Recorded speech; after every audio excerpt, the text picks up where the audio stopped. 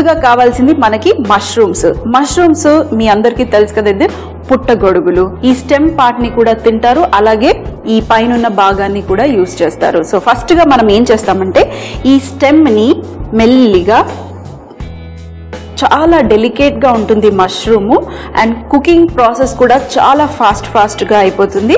ఈ మష్రూమ్ స్టెమ్ని మనము ఇలా తీసేసామనుకోండి మనకి ఒక చక్కటి హోల్ వచ్చేస్తుంది ఇక్కడ. చూసారు కదా? చక్కగా ఒక హోల్ ఉంది. ఈ హోల్లో మనము ఎన్నో రకాల స్టఫింగ్స్ చేసుకోవచ్చు.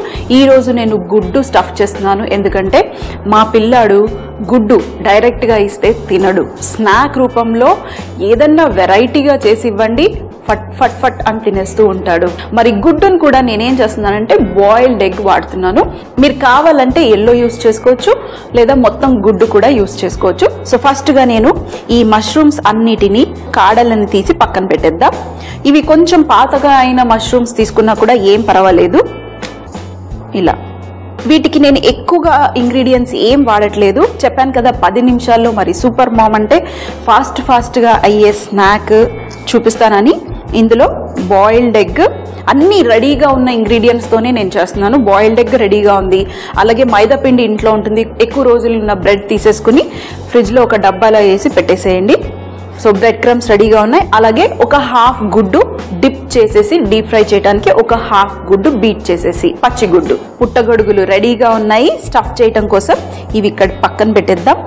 అలాగే ఇవి వేస్ట్ అవ్వండి ఇవి పక్కన పెట్టేసుకోండి. మీరు కర్రీలో కానివ్వండి లేకపోతే దేంట్లోనన్నా కూడా వాడుకోవచ్చు. సో ఇవి నేను పక్కన పెట్టేస్తాను. అలాగే ఇక్కడ మన బాయిల్డ్ ఎగ్ ఉంది. ఈ బాయిల్డ్ ఎగ్ని కూడా తీసేసి ఫైన్గా చాప్ చేసుకుందాం. గుడ్డుని.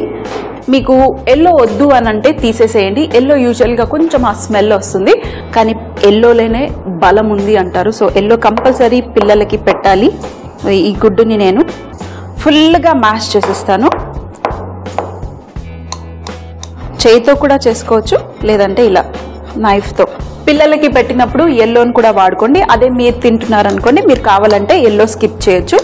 ఎల్లోలో ఫ్యాట్ మరియు ప్రోటీన్ కంటెంట్ ఎక్కువగా ఉంటుంది. చక్కగా మ్యాష్ అయిపోయింది. ఇప్పుడు దీంట్లో మనం కాస్త ఫ్లేవరింగ్ ఇంగ్రీడియంట్స్ వేసేసుకుందాం.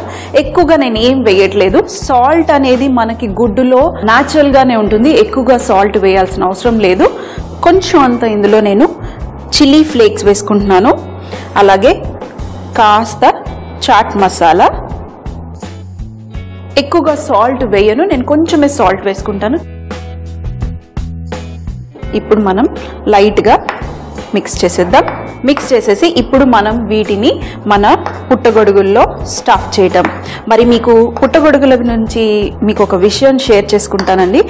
పుట్టగొడుగులు పొటాషియం చాలా ఎక్కువగా ఉంటుంది. మన అట్టిపండు కన్నా ఎక్కువగా ఉంది ఇందులో పొటాషియం సో మీరు యూజువల్గా పిల్లలకి మనం ఒక అట్టిపండు తినమని చెప్తూ ఉంటాము. అలాగే మీరు అట్టిపండే కాకుండా ఇలా మష్రూమ్స్ కూడా ఇవ్వచ్చు. మరి ఈ పుట్టగొడుగులకి మనకి ఎలా విటమిన్ డి అవసరమో అలాగే ఈ పుట్టగొడుగులకు కూడా విటమిన్ డి అంతే అవసరము. సో మరి ఈ పుట్టగొడుగులకి ఇప్పుడు మనం స్టఫింగ్ చేసేద్దాం. కొంచెం కొంచెంగా స్టఫ్ చేసేసేయండి. స్టఫ్ చేసి పక్కన పెట్టేసేయండి. బాయిల్డ్ ఎగ్ నేను స్టఫ్ చేస్తున్నాను. మీరు కావాలంటే ఇందులో మీరు బంగాళదుంప స్టఫ్ చేయొచ్చు ఓట్స్ స్టఫ్ చేయొచ్చు లేదంటే అటుకులు స్టఫ్ చేయొచ్చు రకరకాలైన స్టఫింగ్స్ చేసుకోవచ్చు. ఈరోజు ఫాస్ట్గా అయిపోవాలని నా దగ్గర బాయిల్డ్ ఎగ్ రెడీగా ఉంటే నేను బాయిల్డ్ ఎగ్ వేసుకుని స్టఫ్ చేస్తున్నాను. మరి అన్ని చక్కగా స్టఫ్ చేసేసుకున్నాను. స్టవ్ ఆన్ చేసేసుకున్నాను. ఆయిల్ వేడయ్యే లోపల మిగతా ప్రాసెస్ కూడా రెడీ చేసుకుందాం. మరి ఇవి చూస్తే ఎలా ఉన్నాయి మీకు? పానీపూరీలాగా స్టఫ్ చేసి మనం గుటుక్కన మింగే పానీపూరిలాగా ఉన్నాయి కదా. కాకపోతే ఇవి మనం డీప్ ఫ్రై చేసి గుటుక్కన మింగేస్తాము నమలేస్తాము. ప్లేట్లో కొంచెం మైదా పిండి లైట్గా కోట్ చేయడానికి ఈ మైదా పిండిలో మీరు కావాలంటే కొద్దిగా సాల్ట్ కొంచెం మిరియాల పొడి ఏమన్నా కావాలంటే వేసుకోవచ్చు. కొంచెం ఎక్కువ కాదు. అలాగే ఇందులోనే చిల్లీ ఫ్లేక్స్ కూడా. మీరు మిరియాల పొడి అన్నా చిల్లీ ఫ్లేక్స్ ఏమన్నా వేసుకోవచ్చు. వేసేసి ఇది కూడా ఒక్కసారి మిక్స్. ఫస్ట్గా మనం మైదా పిండితో ఈ మష్రూమ్స్ని కోట్ చేస్తాము. సో ఇక్కడ మష్రూమ్స్ తీసేసుకుని మైదా పిండితో చక్కగా కోట్ చేసేయండి. అలాగే ఈ సైడ్లో కొంచెం బ్రెడ్ క్రమ్స్. బ్రెడ్ క్రమ్స్ కూడా వేసేసేయండి ఒక సైడ్లో. ఇప్పుడు మనం ఇంకా ప్రాసెస్ స్టార్ట్ చేసేద్దాం. కోట్ అయిపోయిన తర్వాత గుడ్డు మిశ్రమంలో డిప్ చేద్దాం. ఇది ఇలా. డిప్ చేసి ఈ బ్రెడ్ క్రమ్స్లో వేసేయండి. వేసేసి ఇంకో చేయితో చక్కగా సీల్ అయ్యేంత వరకు కోట్ చేసేసేయండి. మన రైట్ హ్యాండ్ తడిగా ఉంటుంది కాబట్టి నేను లెఫ్ట్ హ్యాండ్ యూస్ చేస్తున్నాను. అంతే. సింపుల్. ఇది పక్కన పెట్టేసేయండి. అలాగే ఇంకొకటి. ఫస్ట్ ఈ మష్రూమ్ మైదా పిండితో కోట్. లైట్గా కోట్ చేయండి. ఎక్కువగా కోట్ చేయాల్సిన అవసరం లేదు. ఆ తర్వాత ఇది గుడ్డులో. జస్ట్ డిప్ చేసేసి తీసేసేయండి. ఇప్పుడు బ్రెడ్ క్రమ్స్తో కోట్. ఈ మష్రూమ్ కూడా డీప్ ఫ్రై అనేది చాలా ఫాస్ట్గా అయిపోతుంది. మష్రూమ్ మనకి లైట్గా క్రంచీ క్రంచీగా ఉండాలి. అలాగే మరీ సాఫ్ట్గా అవ్వకుండా ఉండాలి. సో అందుకనే ఆయిల్ రెడీ పెట్టేసుకున్నాను. కొంచెం మీడియం ఫ్లేమ్లో మనము డీప్ ఫ్రై చేసుకుందాము. బ్రెడ్ క్రమ్స్ ఉన్నాయి కాబట్టి మరీ హై ఫ్లేమ్ ఉందనుకోండి మన బ్రెడ్ క్రమ్స్ మాడిపోయి లోపల ఉడకకుండా ఉంటుంది. సో మరి మిగతాయి కూడా నేను అన్ని చక్కగా కోట్ చేసేసుకొని ఆ తర్వాత ఒకటేసారి అన్ని ఫ్రై చేసుకుంటాను. స్టఫ్డ్ మష్రూమ్ రెడీ అయిపోయింది. చక్కగా కోట్ అయిపోయింది. ఏదైనా ఎక్సెస్గా ఉందనుకోండి మన బ్రెడ్ క్రమ్స్ లైట్గా ఇలా దులిపేసేయండి. మనకి ఆయిల్ పాడవకుండా ఉంటుంది. సో ఒక్కటి వేసి చూడండి. పర్ఫెక్ట్ ఇది. ఇంకొకటి.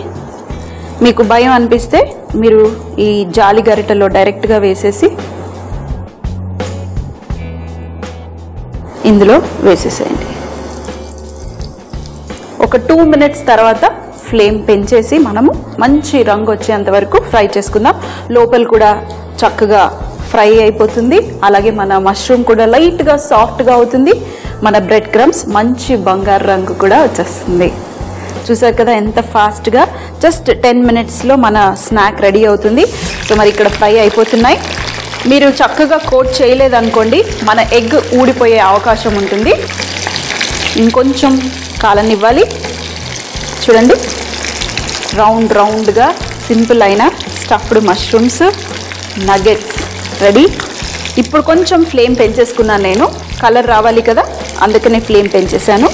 మష్రూమ్ నగెట్స్ రెడీ అయిపోయాయి. చూడండి చక్కటి బంగారు రంగు వచ్చేసింది. అలాగే స్టఫింగ్ కూడా బయటకి రాకుండా చాలా చక్కగా ఫ్రై అయిపోయాయి. మరీ ఎక్కువగా కలర్ వద్దు ఇది పర్ఫెక్ట్. ఈ స్నాక్.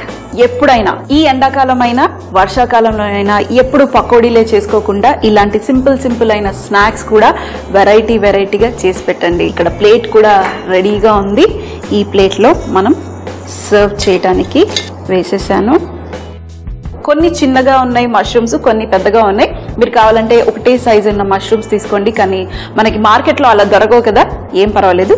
మీ దగ్గర ఏ మష్రూమ్స్ ఉన్నా సింపుల్గా అవి తీసేసేయండి కాడలు తీసేసి హోళ్ళల్లో మీకు నచ్చినవి స్టఫ్ చేసేసి సర్వ్ చేయండి ఇలా.